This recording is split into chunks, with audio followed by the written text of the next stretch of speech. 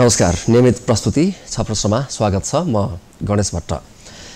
दर्शकवृन्द स्थानीय निर्वाचन आउन अब केही दिन मात्रै बाँकी छ र खास गरी राजनीतिक दलहरू स्थानीय निर्वाचनको तयारीमा जुटिरहेका छन्।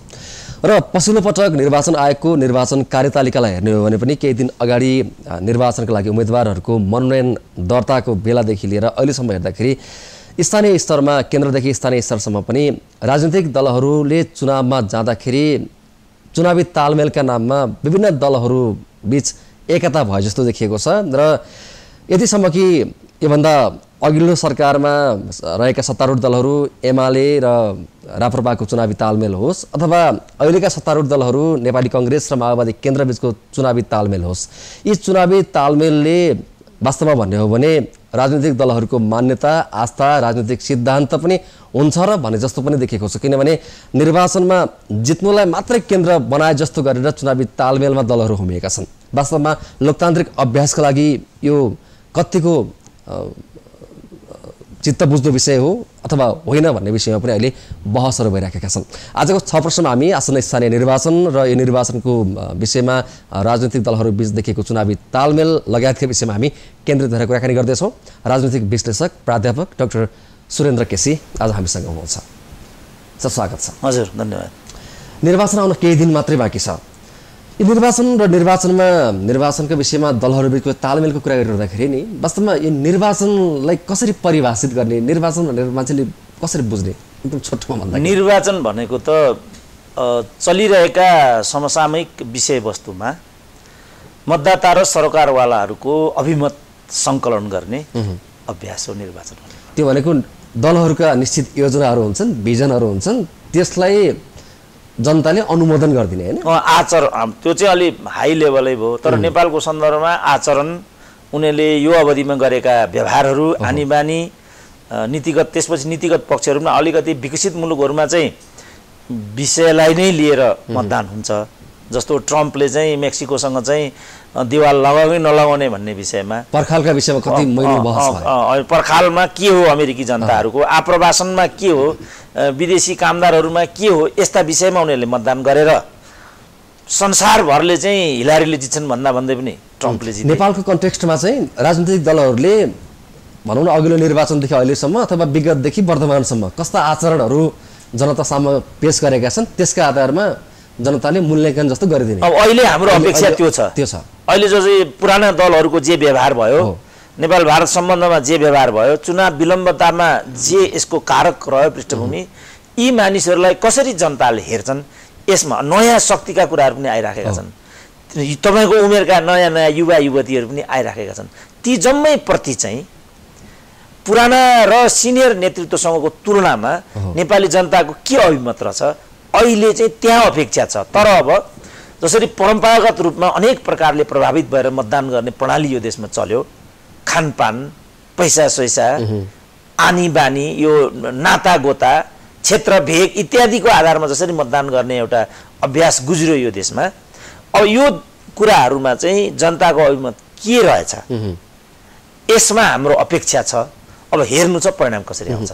अब अहिलेको कन्टेक्स्टमा दलहरूले सबैजसाको घोषणापत्र हेर्दाखेरि यस्तो लाग्छ कि अब चाहिँ हामी विकासमा लाग्ने समृद्धिमा लाग्ने आर्थिक रूपमा हामी अगाडि बढ्नुपर्छ भनेर भाषणमा पनि दलहरूले भनिराखेको भन्नु खोजेको राजनैतिक दलले उनीहरूका उम्मेदवारले चाहिँ उनीहरूको निश्चित योजनाहरू भिजनहरू घोषणापत्रमा सार्वजनिक गरेका छन् अनि उनीहरू मतदाता समक्ष पुग्छन् र त्यसका आधारमा मतदातालाई को चित्त बुझ्छ कसले विकास गर्छ अथवा भनौँ न जनतालाई राम्रो गर्छ जस्तो लाग्छ अनि मतदाताले अनुमोदन गरेर पठाउनु पर्ने नि त। हामीले बुझ्या त त्यही हो नि होइन?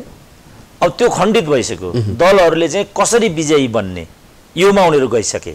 जस्तो अब अब चितवनको कुरा गरौँ पोखराको कुरा गरौँ काठमाडौँको कुरा गरौँ यहाँ चाहिँ नीति फाल्ने तर दलहरू छैनन्। जसरी पनि जित्नेतर्फ दलहरू छन् भन्ने देखिसक्यो। त्यस कारण तपाईँले भन्नुभएको प्रश्न त यो तालमेलमा जोड्न खोजेँ कि।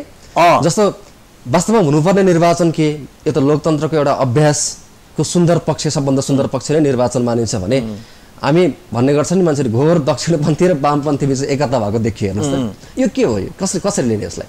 होइन अब यहाँ त घोर दक्षिणपन्थी र वामपन्थी भन्ने मात्रै पनि कुरा आएन जस्तो सल्यानमा जानुभयो भने एमाले र काङ्ग्रेसको तालमेल भयो।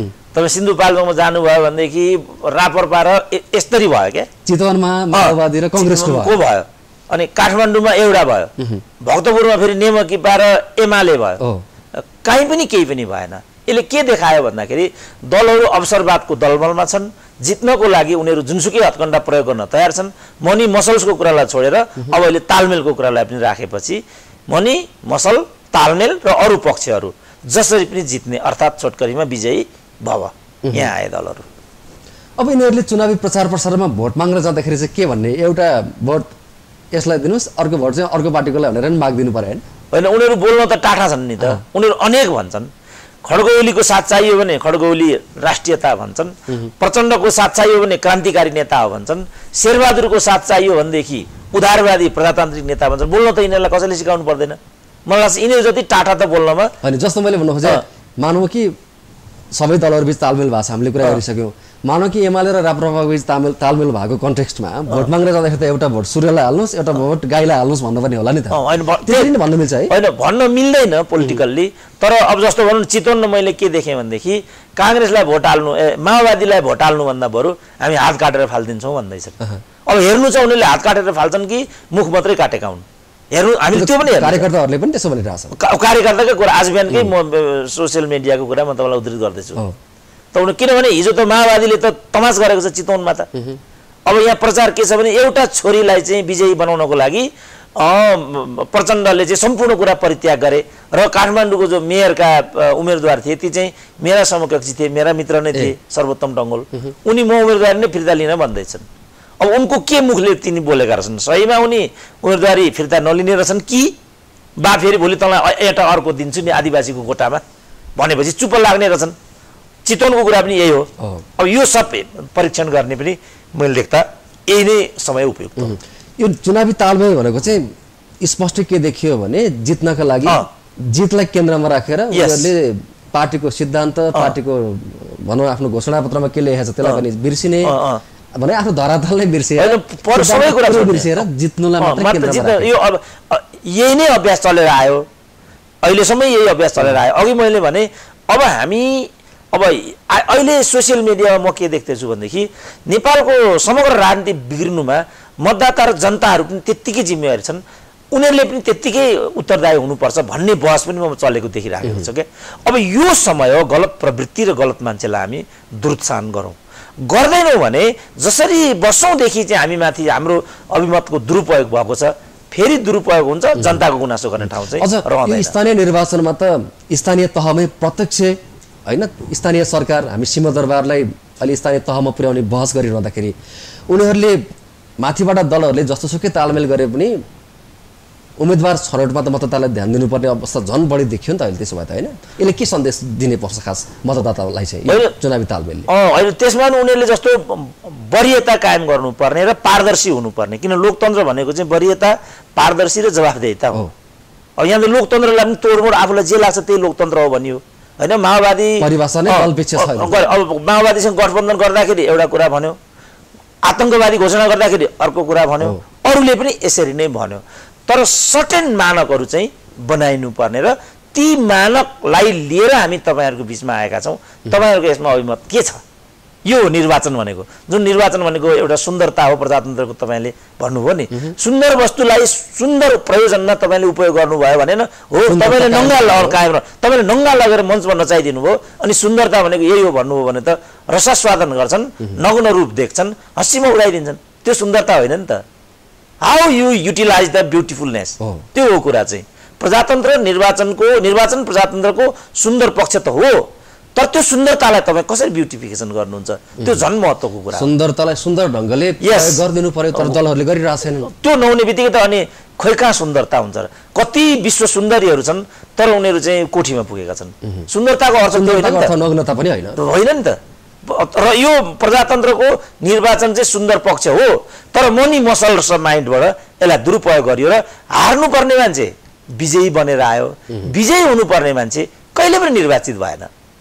नेपालमा यो पुराका पुरा लागु हुन्छ। हुन्छ। हामी प्रसङ्गलाई फेरि पनि जारी राख्नेछौँ। आजको छ प्रश्नमा हामी आसन्न स्थानीय तहको निर्वाचन र निर्वाचनको पूर्व सन्ध्यामा राजनीतिक दलहरूको चुनावी तालमेलका विषयमा केन्द्रित भएर कुराकानी गरिरहेका छौँ। प्राध्यापक डाक्टर सुरेन्द्र केसी हामीसँग हुनुहुन्छ। कार्यक्रममा पालो भएको छ। छोटो ब्रेकको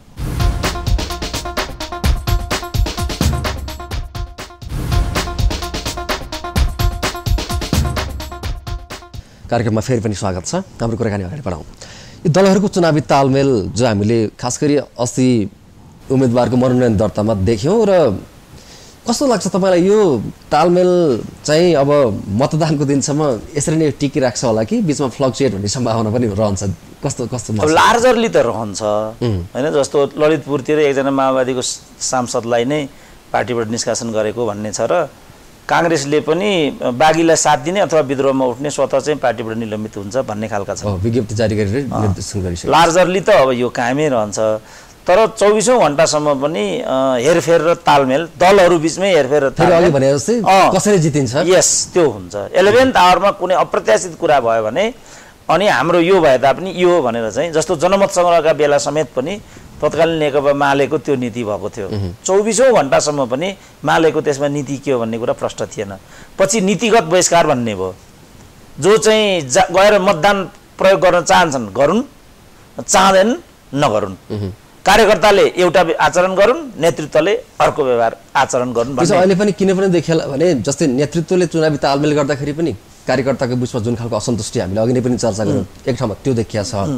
अर्को स्थानीय तह भइसकेपछि स्थानीय स्तरमै कस्तो प्रभाव रहन्छ मतदाताको इच्छा आकाङ्क्षा के छ त्यसमा पनि डिपेन्ड गर्नु हो अब नेताहरूको जस्तो भनौँ न अब अहिले कैयौँ कुराहरूमा जस्तो पनि देखिरहनु भएको छ। प्रधान न्यायाधीशकै केसमा पनि जस्तो माओवादीकै कुरा गर्ने हो भने पनि नारायण काजीको अर्कै मत देखिन्छ। कङ्ग्रेसकै पनि कङ्ग्रेसको पनि खुल्लम खुल्ला रामचन्द्र पौडेलकै अर्को देखिन्छ। अब यता तपाईँको प्रदेश पुनर्विभाजनको जो कुरा आयो त्यसमा टोपबहादुर रायमाझी अरूहरूले खुल्लम खुल्ला त्यसलाई अवज्ञा गरे। तर दलले त केही पनि कारवाही गर्न सकेन। यी खालका कुराहरू चाहिँ यहाँभित्र किन नौलो अभ्यास पनि हो र हाम्रो नेतृत्वले चाहिँ राजनीतिलाई सामाजिक आर्थिक रूपान्तरणको विषय भन्दा पनि आफ्नो स्वार्थ र साध्ने उल्लु साध्ने र पद पट्याउने धन्दाको रूपमा दुरुपयोग गरेको छ। त्यसमा धन्दाखोर तत्त्वले कतिपय जसले बढी पैसा दियो धन्दावालाले त त्यही गर्ने भयो। सबै कुराहरू चाहिँ मैले देख्दा ओपन छ। अब यसको प्रभावका कुरा गर्दा नि जस्तो चुनावी तालमेल ठुला भनिएका दलहरूले नै चुनावी तालमेल गरेका छन् भनेको त ठुलै दलहरू पनि पराजयबाट त्रसित रहेछन् भन्ने त स्पष्ट देखियो। त्यो त एक ठाउँमा सधैँ छ। अब यसले चाहिँ अरू दलहरू छन् जस्तो अहिले नयाँ भर्खरै आउँदै गरेका तपाईँलाई अघि नै पनि भनिसक्नु जस्तो विवेकशील नेपाली नयाँ शक्ति साझा पार्टी लगायतका दलहरूलाई पनि यसले असर गर्ला होइन अँ गर्छ। किनभने नयाँ शक्ति नयाँ शक्ति भनेर आएका छन्। अब बाबुरामलाई त नयाँ शक्ति मान्नुपर्ने म आवश्यकता देख्दिनँ। तर अरू जो दुईवटा आएका छन् अब त्यो साझा पार्टी भन्ने आएको छ अर्को विवेकशील भन्ने आएको भन्ने बजारमा सुनिएको छ ती के हुन् त? तपाईँको उमेरका युवाहरू बिस वर्षदेखि स्थानीय निकायको निर्वाचन भएन। बिस वर्ष अघि जन्मेको बच्चाले। अब अहिले भोट मात्रै हाल्दैछन् कि ऊ उमेरदार हुन गइराखेको छ। नयाँ परिवर्तन र सम्भावना त्यो उमेरमा छ। त्यो उमेरलाई नेपाली मतदाताहरू कसरी हेर्छन् त? यो चुनौती हाम्रो अगाडि छ। जस्तो हामी चाहिँ परम्परावादी जस्तो एक हिसाबले सोच्दाखेरि उमेरको क्रमभङ्गता र नयाँ शक्तिको परीक्षण अहिलेको आवश्यकता नै हो। तर त्यो शक्ति पनि परीक्षामा त फेरि बस्नुपर्छ। जस्तो केजरीवालको कुरा आयो भारतमा। अब अहिले वर्ष दिन बितेको छैन अलमोस्ट केजरीवाल जामबाट उठेका हुन् त्यहाँ फर्किँदैछन् र पार्टीभित्र अनेक विग्रहहरू देखिएका छन्। अब हामी कहाँ के हुन्छ त? हामी कहाँ नयाँ केजरीवाल चाहिन्छ भन्थे? बाबुराम नै केजरीवाल हुन् पनि भन्थे? के हो त मतदाताहरूको अभिप्राय चाहिँ? त्यो अभिमत पनि अब अहिले हामीलाई चाहिन्छ। तर त्यसो भनिरहँदाखेरि पनि जस्तै ठुलै दल पनि चुनावबाट यसरी डराएर तालमेल गरिरहेको बेलामा फेरि यो साना दलहरूको भविष्य अथवा यिनीहरूलाई जनताले फेरि अनुमोदन गर्लान् भन्ने सम्भावना घट्छ कि फेरि अ, मतदानको समय नै पर्खिनुपर्छ? होइन त्यो हामीले हामीलाई बोल्ने अधिकार छैन। किनभने विषय अदालतमा पुगिसक्यो। अब अदालतमा पुगेको विषयलाई हामीले प्रभाव पार्ने गरी बोल्न पाइँदैन भन्ने छ। अब हामी मतदातालाई नै पर्खौँ। के चाहन्छौ त मतदाताहरू? अघि पनि मैले भने मलाई नै भन्न दिनुहुन्छ भने त पुरानो पिँढीभन्दा नयाँ पिँढी अझ बढी भ्रष्ट र उपभोक्तावादी अवसरवादी छ। कसरी? किनभने पुरानो पिँढीले त्याग गरेको छ बलिदान गरेको छ। सुशील कोइरालाकै तपाईँले कुरा गर्नुभयो भने पुरा जीवन अविवाहित रहेर आफ्नो राजनीतिक प्रतिबद्धतालाई अभ्यासमा ल्याउनु भयो खडगोलीकै कुरा गर्नुहुन्छ भने चौध वर्ष जेल बस्नु ठट्टा कुरा त होइन नि। अब माओवादीकै कुरा गर्नुहुन्छ ज्यान हत्केलामा लिएर हिँड्यो ठुलो त्याग त भयो नि। तर यो त्यागलाई चाहिँ कार्यरूपमा रूपान्तरण गर्ने प्रश्नमा त्यो नेतृत्व चाहिँ चुक्यो। अब नयाँ पिँढीले त्याग त उसको केही पनि छैन। ऊ टाठो मात्रै छ पढेको मात्रै छ। रविन्द्र मिसकै कुरा गर्नुहुन्छ भने एउटा ब्रिलियन्ट एउटा पत्रकार छन्। उनले चाहिँ त्यो ब्रिलियन्सीलाई चाहिँ आफ्नो व्यक्तिगत फाइदामा अभ्यासमा लगेको मात्रै पृष्ठभूमि छ। अब के गर्छन् त? के त उनलाई चाहिँ नयाँ पिँढीसँग म केही गर्छु भन्ने इच्छा शक्ति जस्तो चाहिँ हामीले देखेका छौँ तर उनीहरूको राजनीतिमा पर्टिकुलर त्याग समर्पण देखाएको छैन होइन? ठुला भनेका नेता दलहरूको त्याग समर्पण छ तर उनीहरूको इच्छा शक्ति होइन, ठुलाहरूले आफ्नो साउ ब्याज उठाइसके। उठाइसके। अब ठुलालाई ठुला भन्ने हैसियत छैन। उनीहरूलाई अब लड्नुपर्ने फेरि के गर्नुपर्छ भन्ने नै छैन। त्यो नेक्स्ट हो तर उनीहरूले जे जे लगानी गरे त्यसको साउ ब्याज खाइसके। एउटै नेतामाथि बिस बिस करोडको उपचार खर्च भयो। एउटै नेता नौ नौचोटि प्रधानमन्त्री भयो। अब यो लुवाङ्गेलाई योभन्दा बढी के चाहियो? यिनीहरूसँग लिनु पनि छैन दिनु पनि छैन। तर प्रतिस्थापन गर्ने शक्ति खोइ त। के गर्छन् त रविन्द्र मिश्रले भोलि? अब किसानी एउटी के हो त दर्शन आएको बा फेरि जस्तो हुनु योभन्दा पहिला पनि सबभन्दा कम उमेरकी भनेर एउटा जनता दल कि के भन्ने कि तपाईँकै उमेरकी एउटी बच्चीले जितेकी थिइन् सबभन्दा कम उमेरकी यहाँ आएर बोलिदिनु पऱ्यो। म पनि गएर बोल्थेँ। अब यो चाहिँ मिडिया स्टन्टको लागि मात्रै हो कि? वास्तवमै केही छ उहाँहरूसँग फेरि अघि भने जस्तै पर्खिनै पर्छ। होइन मिडिया स्टन्ट भन्दा पनि विभिन्न किसिमका लगानीहरू र विभिन्न किसिमका स्वार्थहरू यहाँ छन् भन्ने छ। के हो त? पहिलो त विषय प्रवेशै अहिले भइराखेको छ। तर उनीहरूलाई के त हामीले यो यहाँ जमिनमा जानै नदिनु उम्रिनै नदिनु त्यो त हामीसँग हक छैन। उनीहरूलाई उम्रिन दिने हो। उम्री नै फैलिने सबै अधिकार त। सबै अधिकार छ तर उनीहरूले बेइमान गर्न पाउँदैनन् गरे भने त्यो अत्यन्तै ठुलो घात हुन्छ। यो घात हुन्छ कि हुँदैन भन्ने जुन विश्वसनीयता हो उनीहरूले त्यो विश्वसनीयतै देखाउन बाँकी छ। अनि तालमेलकै कुरा गर्दा नि जस्तो अघि हामीले ठुला दलको तालमेलको कुरा गऱ्यौँ। यो विवेकशील साझा पार्टी लगायतका दलहरूले चाहिँ फेरि तालमेल गरेर देखाएको छैन फाइदा हुन्थ्यो होला नि है ताल- तालमेल गरे उनीहरू उस्तै हुन् भन्ने त्यहाँबाट देखिन्छ। जस्तो मधेसवादीकै कुरा गरौँ। मधेसको मुद्दा भन्छन् जनजातिको कुरा गरौँ दलित महिलाको कुरा गरौँ। तर न दलित मिल्छन् अहिले सुशीला कार्की एक्लै परेकी छिन्। एउटा पनि महिला सडकमा आइराखेको छैन। हिजो महिला महिला महिला। आज जम्मै सुशीला कार्कीको विरुद्ध महिलाहरूले गरिरहेछन्। राष्ट्रपति महिलै छिन् सभामुख महिलै छिन्। उनी आफै त त्यस कारण यो लिङ्गको कुरा थिएन। यो जाति क्षेत्रको कुरा त्यसलाई पनि विषय बनाएर यी जादुवालहरूले चटक जस्तो दुरुपयोग गरे। खबरदार युवा पिँढीले चाहिँ यो गर्नै हुँदैन। त्यसपछि त्यो गरियो भने युवा प्रतिको जो आस्था र अपेक्षा हो त्यो पनि धुमिल बन्छ। यो धुमिल बनाउने अधिकार पनि युवा पिँढी गर्न सक्दैनन् भने बरु नगर्नु बेटर हुन्छ। अहिले शक्ति सञ्चय गर्नु नै राम्रो हुन्छ। तर मैदानमा आएर झगडाको नग्न रूप देखाउनु चाहिँ मैले देख्दा पुरानो प्रवृत्ति हुन्छ। नयाँ प्रवृत्ति हुँदैन त्यो। हामी कार्यक्रम अन्त्यमा आइपुगेका छौँ। तपाईँ एकजना प्राध्यापक पनि हुनुहुन्छ। समाजलाई राष्ट्रलाई नजिकबाट निहालिरहँदा पढिरहँदा विश्लेषण गरिरहँदाखेरि निर्वाचनको सङ्घारमा छ। मतदातालाई भन्नुपर्ने केही सन्देश छ भने छोटकरीमा। म यति मात्रै भन्छु कि यो तेरो मेरो भन्दा पनि सबै तेरो मेरो भित्रका राम्रा मानिसहरूलाई एकचोटि मौका दिउँ। फलानु म जस्तो माओवादी छु भने मैले काङ्ग्रेसलाई भोट हाल्न सक्नुपर्छ। तपाईँ काङ्ग्रेस हो भनेदेखि एमआरएललाई भोट हाल्न सक्नुपर्छ। यदि। त्यहाँ राम्रो एउटा अन्तिम मौका मैले देख्दा नेपाली मतदाताहरूको लागि त्यो छ। होइन भने पछुतो गरेर तपाईँले धर पाउनुहुन्न अब मुलुक अप्ठ्यारोमा जानेवाला छ। यो राम्रो मौका हो यसलाई प्रयोग गरौँ। म यही भन्छु। हुन्छ हस्। समयको लागि धेरै धन्यवाद। हवस् धन्यवाद। आजको छ वर्षमा हामीले स्थानीय तहको निर्वाचनको सङ्घारमा राजनीतिक दलहरूको चुनावी तालमेल लगायतका विषयमा केन्द्रित भएर कुराकानी गऱ्यौँ। प्राध्यापक डाक्टर सुरेन्द्र केसी कुराकानीमा हुनुहुन्थ्यो उहाँसँगको यही कुराकानीसँगै आजका लागि कार्यक्रम छ प्रश्न। यति नै। हामी निरन्तर न्युजमा छौँ। नमस्ते।